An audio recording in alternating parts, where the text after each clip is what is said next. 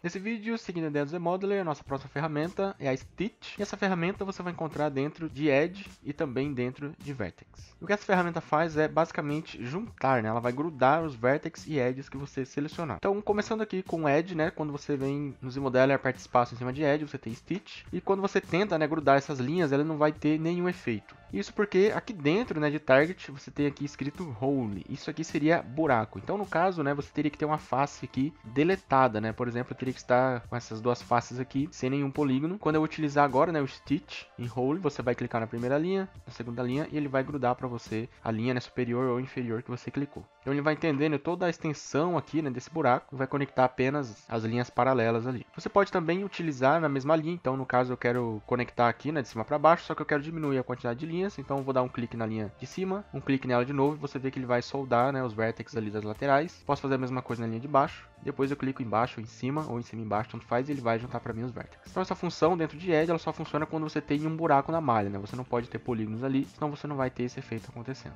Agora uma coisa interessante, né, sobre essa função é que quando você tenta deletar um loop, né, que ele está totalmente vazado, você não vai conseguir isso, porque o ZBrush ele precisa de alguma face para ele ter de base, né, para ele poder juntar essa face. Então, por exemplo, aqui, se eu simplesmente deletar todos esses outros polígonos aqui, vou vir em Face, a opção de deletar, eu vou clicar em Polyloop e agora eu vou deletar. Então, deletei toda a extensão, né, desse loop. Se eu tentar utilizar agora o Stitch por Edge, né? Quando eu clico em cima e clico embaixo, ele não vai ter nenhum efeito. Isso porque isso aqui ele já não é mais um buraco. É como se fosse dois modelos diferentes, porque eles estão separados. Para você considerar que isso aqui seja um buraco, você precisa ter uma face, né, conectada aqui. Então, conecto essa com essa. E agora sim, quando eu utilizo o Stitch baseado em Edge, aí ele vai juntar para mim esses polígonos aqui. Então, se você tiver um loop sem nenhum polígono, ele não vai considerar que é um buraco. Ele não vai fazer, né, esse Stitch baseado em Edge. Você precisa ter pelo menos uma face ali identificando, né, o, o início e o fim do modelo para ele saber que ali dentro seria um buraco. E sempre lembrando também que essa função, né, quando você tem mais de uma linha aqui conectada e você utilizar o stitch por edge, ele vai deixar para você sempre um triângulo ali, então tem que ver se realmente isso compensa para você, né, se a sua malha vai suportar o triângulo, porque ele não vai fazer, né, esse, essa junção, né, em quad, ele sempre vai deixar um triângulo ali na sua malha. E dentro de vertex ele vai fazer a mesma coisa, só que com dois pontos, né, então por exemplo eu posso pegar um ponto daqui da esquerda e colocar ali em cima da direita, e aí ele vai fazer para mim a junção. Ou a mesma coisa, né, da direita para esquerda, ou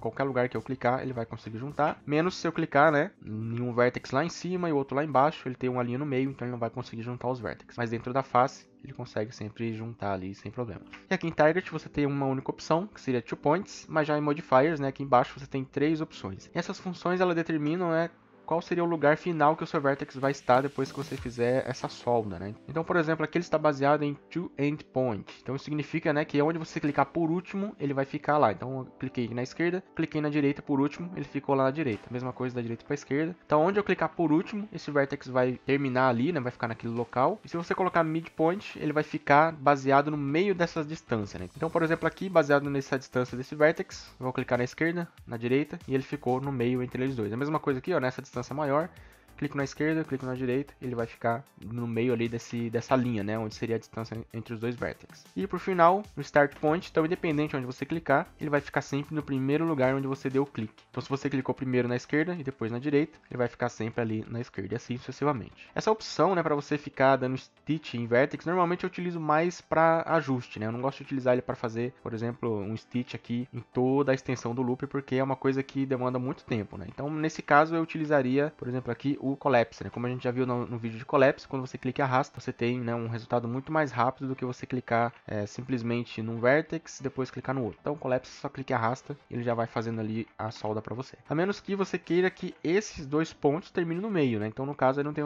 outra opção. Você vai ter que vir aqui em Points, Midpoint, e aí sim, vir dando Stitch um a um, e aí depois você vai ter a linha né, feita aqui no meio. Mas de qualquer forma, mesmo assim, você utilizando o Collapse, você pode colocar aqui em Polyloop. Você dá um clique na linha, ele vai juntar as duas, depois você pode utilizar o Move e trazer ela um pouquinho mais para cima. Então assim, existem formas um pouco mais rápidas, né, ao invés de você utilizar o Stitch e ficar soldando vértice por vértex. Mas de vez em quando, né, quando você precisa ajustar alguma coisa, o Stitch ele é muito útil ali nesses momentos né, mais simples, né, onde você tem apenas um único vértex e precisa ajustar. Então, basicamente é isso, né? O Stitch, uma ferramenta extremamente simples de utilizar. Espero que tenha sido útil para você. Qualquer coisa, deixa aí nos comentários que a gente vai respondendo. É isso aí, valeu, até a próxima.